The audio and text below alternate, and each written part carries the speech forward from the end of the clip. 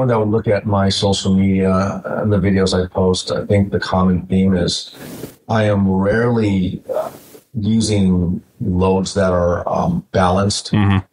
Um, if I do have what appears to be a balanced load, there's usually some compromise in my stance. I'm either in a split or it's also known as a lunge stance or I'm standing on one leg or, um, yeah, there's, to me, all of the exercise, I'm, I'm kind of obsessed with uh, strengthening the lateral core of the body, um, what are like the obliques, Yes. the QLs, and basically all of the musculature in what's called the, what I refer to as the blade of the body. So all the muscles on the side of the body. So the peroneals and the outer calves, the TFL muscles, uh, the glute medius, glute minimus, obliques, lats, lateral deltoids, as well as adductors of the inner thighs, and um, even the muscles on the side of the neck. I found that the stronger I make the the edges of my body, the more durable um, and also the more efficiently I'm able to move because force generated in my lower body gets transferred more efficiently and more immediately into the upper body and vice versa if basically all four sides of my midsection um, are more equally strengthened and balanced. So, um, with that objective in mind, I use what appear to be upper and or lower body exercises um, to accomplish two primary objectives. The first is to strengthen the lateral aspects of my body, especially the obliques in the core. And also I implement a breathing method that I refer to as double compression breathing because um, I actually like to use exercises to strengthen my breathing, um, to strengthen the ability for me to breathe strongly, um, and to control my breathing. So, uh, normally breathing is used as a method to enhance or improve a certain movement or strength application, but um, I actually like to do the opposite. I will use any given exercise from a biceps curl to some spinning orbit lunge exercise with a kettlebell to practice and refine my breathing.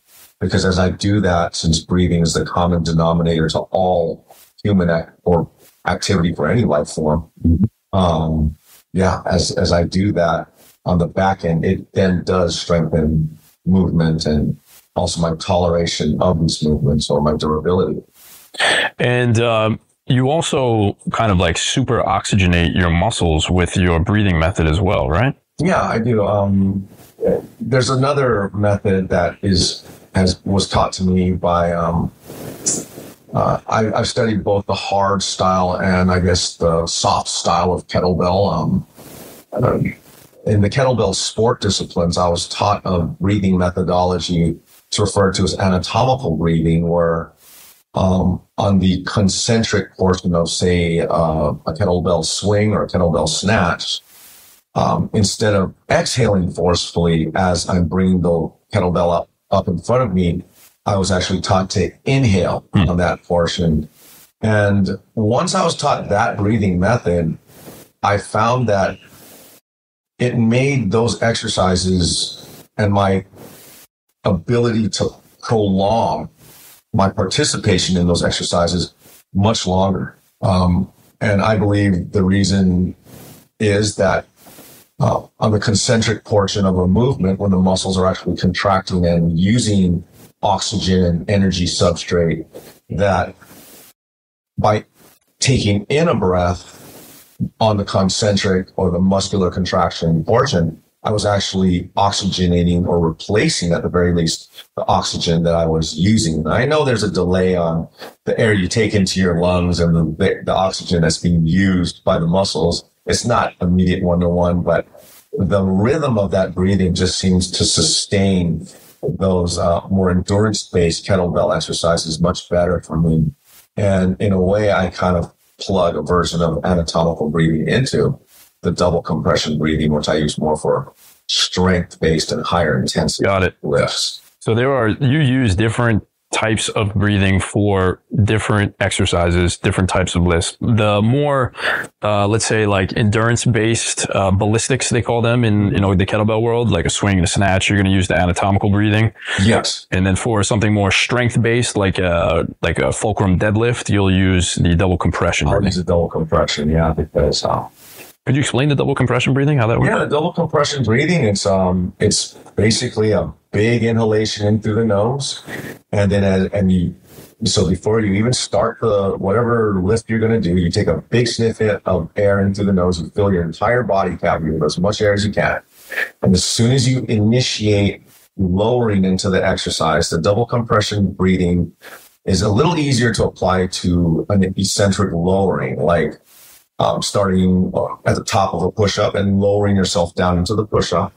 Uh, you take a big breath in through the nose and you, as soon as you start lowering yourself into the push up, you hiss a little bit of that breath out.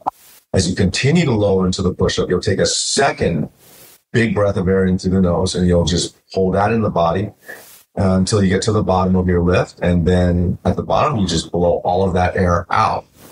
And um, the way I kind of stumbled upon that method of breathing that seemed to work pretty well for me was I was trying to get a maximum for me squatting 405 pounds uh, barbell squat. That was a big goal for me um, when I was younger.